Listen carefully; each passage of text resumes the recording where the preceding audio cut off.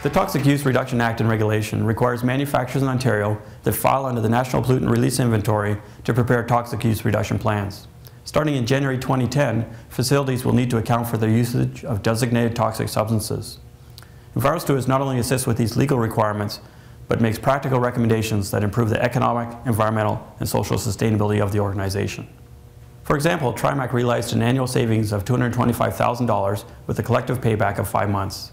Trimac had been using 24 tons a year of a toxic and carcinogenic solvent, methylene chloride, to remove paint and adhesive from stainless steel totes used by the auto sector. During a multimedia toxic use reduction assessment, EnviroStewards demonstrated that blasting with a baking soda and compressed air process could replace the methylene chloride-based system with a five-month return on investment when compared to end-of-pipe treatment.